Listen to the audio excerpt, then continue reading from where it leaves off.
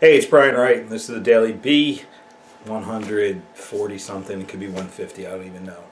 Hey, Brian from BrianWright732.com, phitin.com, ptbme.com, so many .coms, so many different things.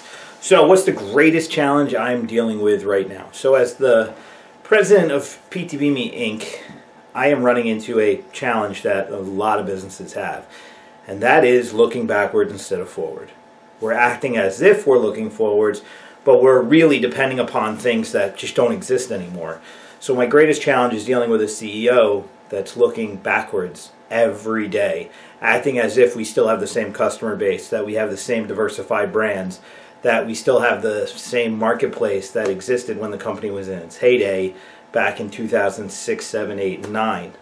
You know, you got to remember in 2006, Facebook was like two years old. It's 2017 completely different world. The market's really shifted.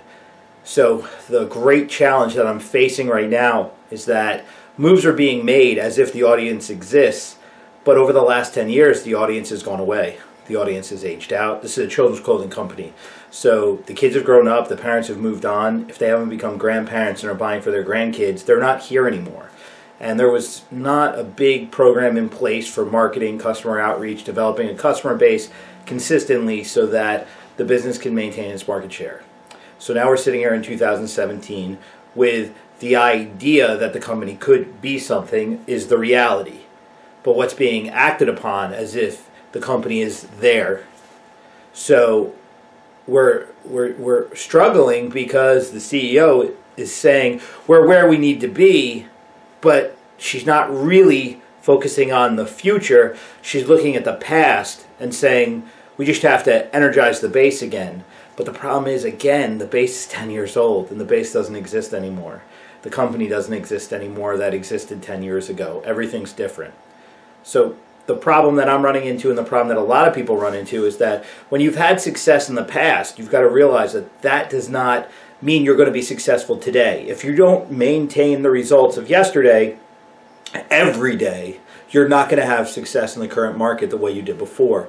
You can't live off the past.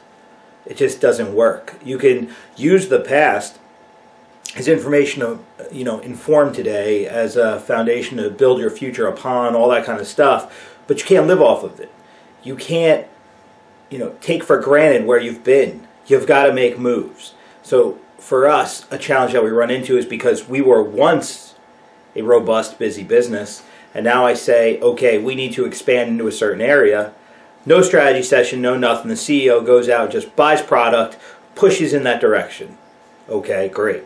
But we didn't build an audience, so now we don't have a customer, and now a business that you know we're not really making what we need to make is now making even less because we have product that we can't move because we're acting as if the customer exists even though we didn't take the steps necessary to maintain the customer over the years and we haven't had enough time to outreach to the customer today. So now we're stuck with goods and no customers. And so now the debt gets deeper.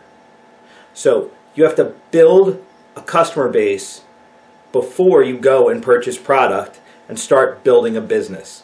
If you don't have attention, if you don't have people coming through your door, if you don't have a customer, you don't have a business to grow. So the number one thing you need to focus on when your business is lacking is taking all that past history that you're acting upon and process and buying, cut that off.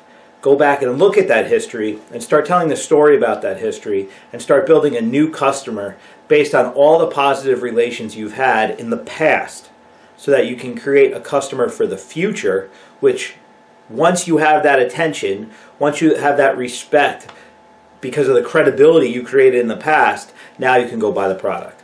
So Again, I say this over and over and over again. Do not go and try to build a business without building a following first.